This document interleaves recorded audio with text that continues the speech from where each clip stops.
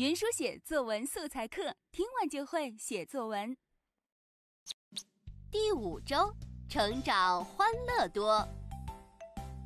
嗨，你好，今天的主题是丢啊丢，丢手绢。你喜欢玩游戏吗？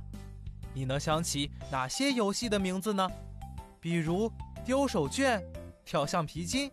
老鹰捉小鸡等等，那怎么描写你玩过的游戏呢？通过今天的学习后，你就会写了。赶快跟我一起进入到课堂里吧。素材讲一讲。这条素材出自金波的《一起长大的玩具》，讲述了他小时候玩过的一种游戏——玩陀螺。赶快读一读吧。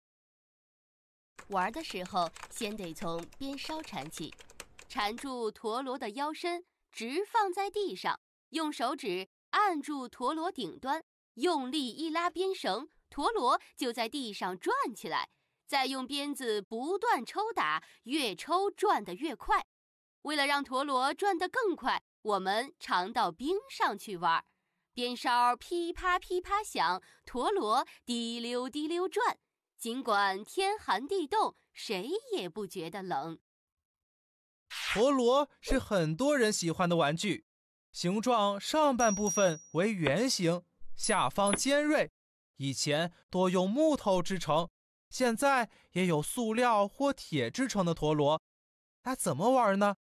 看看金波是如何告诉我们的。作者在这条素材中详细介绍了玩陀螺的步骤和过程。首先，作者是按照玩陀螺的先后顺序来介绍的，从玩陀螺第一个步骤开始说明，到最后陀螺被旋转起来，介绍的非常详细。这样一来，即使没有玩过陀螺的人也知道如何操作了。其次，我们注意到作者在介绍游戏过程中用了一系列的动词，比如缠、放、按、拉几个动词。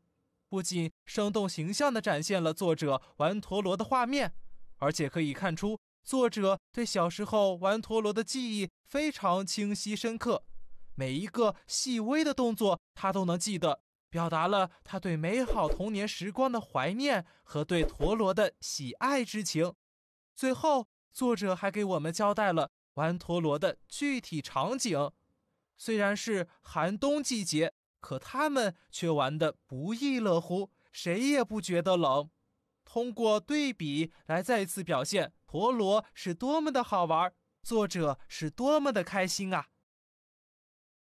素材练一练。如果以后让你写玩陀螺的游戏，你知道怎么写了吧？但是写其他的游戏呢？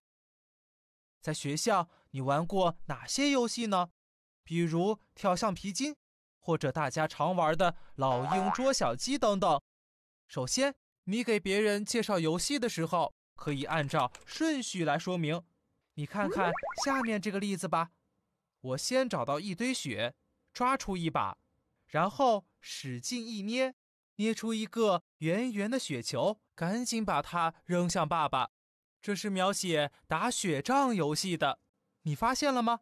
它是按照一定的游戏过程顺序写的，通过先、然后等词写清楚打雪仗先做什么，接着又做什么。